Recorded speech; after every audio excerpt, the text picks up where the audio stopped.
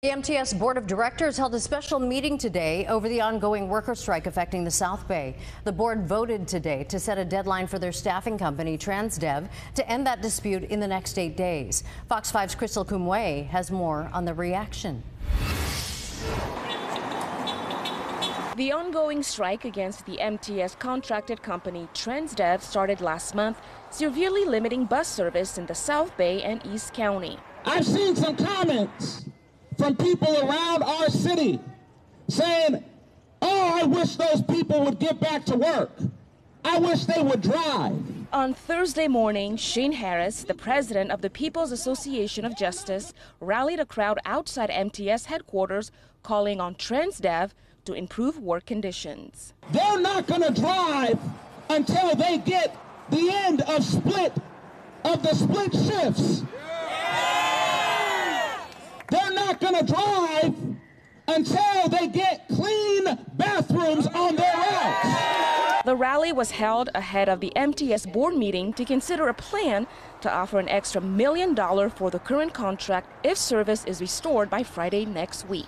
In my view, the $1 million is relatively small in the scheme of things, but it's an effort to help end the strike. The board voted 8 to 6 to set a deadline for Transdev to end the labor dispute by June 23rd. Everybody has suffered from the strike. Nobody is winning. Bus driver union members like James Dean are disappointed by the board's decision. They want the board to cancel the contract with Transdev. No, we're fine. We're fine. We're strong.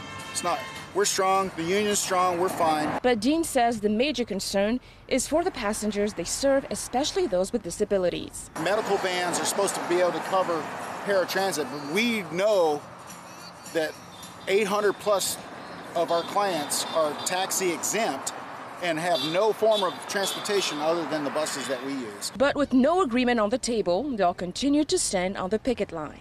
They're not going to drive until Transdev, a multi-billion dollar company, meets the negotiated terms of For now, the bus drivers are still on strike, but they are expected once again to meet Transdev at the negotiating table tomorrow morning.